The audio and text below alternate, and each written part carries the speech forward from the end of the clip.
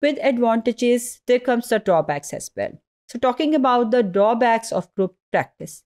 Working for a group practice or managing one may not match everyone's personality or career goals. For therapists have established his or her therapy niche and practice a less common specialty or ones that is not much demanded, they may not easily find a practice seeking their skill set.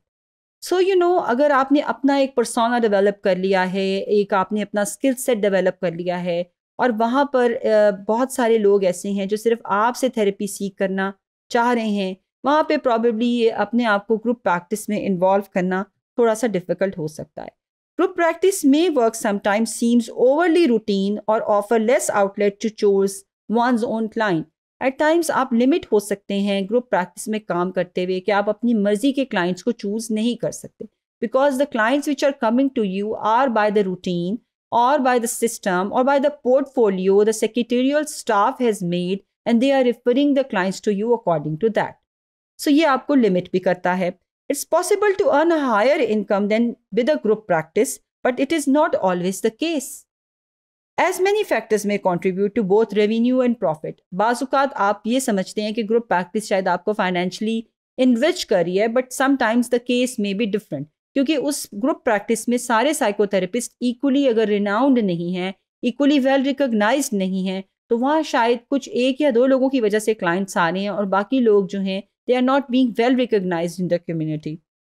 So the tendency to refer clients to other psychotherapists one knows is also a critical issue. अब may be वो client जो आप समझते हैं आपके पास referred होकर आना चाहिए था वो आपके कॉलीग के पास चला गया so sometimes it becomes a very critical issue for yourself and as well as for the client While referring the therapist, one must offer the client a choice among clinicians and includes at, at least one with no linkage to referring party. Ideally speaking, it should be on the dissertation of the client that whom he would like to opt uh, for a, a group practice rather than कि उसको हम force करें कि आप सिर्फ़ इसी एक mental health professional के पास जा सकते हैं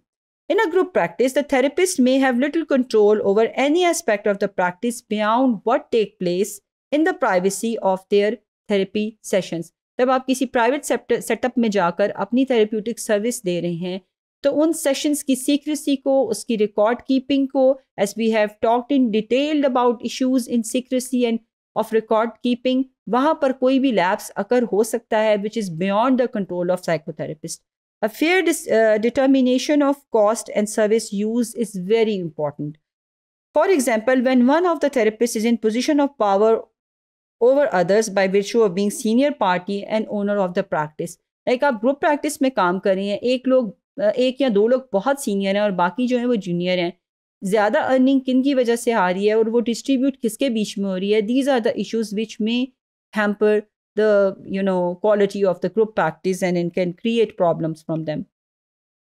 office politics में भी less of an issue in a therapeutic practice क्योंकि ज़्यादातर लोग तो अपने अपने सेशंस में बिज़ी रहते हैं। उन्हें कोई बैठ के कॉफ़ी के कप पे गपशप करने का मौका तो नहीं मिलता। लेकिन ये कि फिर भी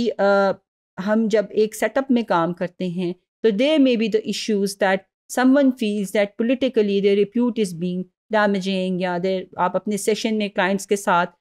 दूसरे थेरेपिस्ट के बारे में बात करते हैं कि जी वो तो इतना अच्छा नहीं है या आप मेरे साथ ज़्यादा कंफर्टेबल फील करेंगे। और इस तरह के कुछ आप वायोलेशन अगर करते हैं एथिकल रूल्स को अगर ब्रेक करते हैं you talk about other person in your therapy sessions तो उसकी वजह से भी काफ़ी सारे प्रॉब्लम्स जो हैं वो क्रिएट हो सकते हैं। If the above factors do not pose a problem for the therapist, a good practice could potentially be a good fit. If you just, you know, uh, overcome all these issues, so group practice भी एक अच्छा uh, जो है वो business aspect proof हो सकती है. According to the APA, group practice work often serves new therapists well by encouraging professional development and offering numerous other benefits as helping as one being established in the mental field. APA says that the new professional mental health uh, uh, people who are entering into the field, they get benefit because of this group, group practice because when they work with a senior and seasoned mental health professional, they learned a lot out of it. So in this way, the group practice could uh, prove to be a better opportunity for the new and emerging mental health professionals.